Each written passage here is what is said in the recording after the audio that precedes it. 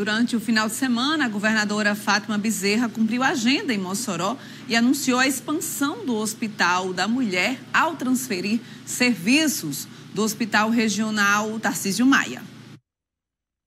A primeira etapa incluiu a abertura de uma nova enfermaria pediátrica com 17 leitos. A transferência do serviço faz parte da aceleração da obra que está sendo realizada no Hospital Regional Tarcísio Maia. E ainda durante a semana será feita a mudança da urgência ginecológica, que também passará a funcionar no Hospital da Mulher. Ao longo deste mês, agora do mês é, é, de agosto, nós vamos ampliar mais ainda né, esse serviço, trazendo exatamente mais leitos.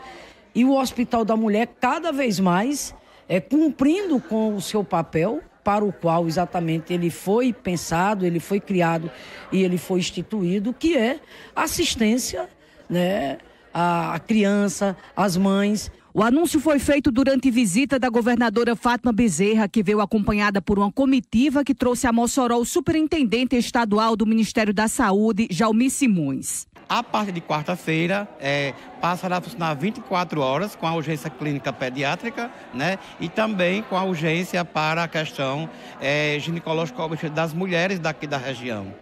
E brevemente nós estamos já com a agenda é, feita com o secretário é, da Secretaria Especial de, de, Saúde, do Ministério da Saúde, para visitar, vir até aqui a Mossoró fazer uma visita em loco, porque esse hospital ele tem um potencial enorme para melhorar ainda mais a saúde da população do Rio Grande do Norte, em especial aqui do Oeste ou Alto Oeste. A expansão dos serviços de atendimento no Hospital da Mulher já vinha na pauta do governo como alternativa para que seja possível cada etapa de reforma do Hospital Regional Tarcísio Maia, alinhada ao propósito de ampliar o funcionamento da unidade. Nós temos uma ala né, de internação é, atendimento clínico às crianças, a parte de internação. Essa parte ela não retorna para o Tarcísio Maia ela vai se incorporar à nossa carta de serviço. Vamos fazer gradativamente, com segurança, trazer todos os pacientes que já estão internados e só então abrirmos a porta de urgência.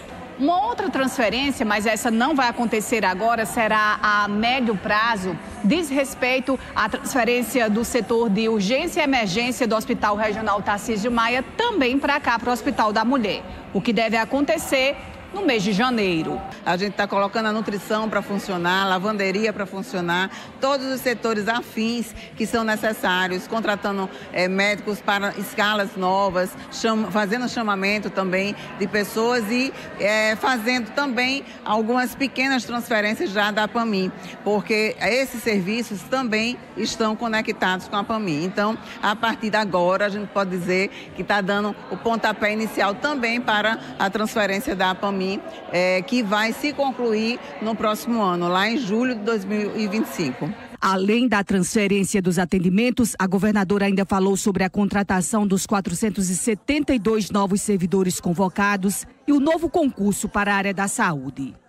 A maioria enfermeiros, fisioterapeutas, etc. E também ontem, mais uma outra notícia é, mais uma outra conquista muito importante para a gente cada vez mais qualificar mais o SUS, fortalecer mais o SUS do Rio Grande do Norte, que foi ter autorizado ontem a abertura para um novo concurso para a área da saúde. Sigamos.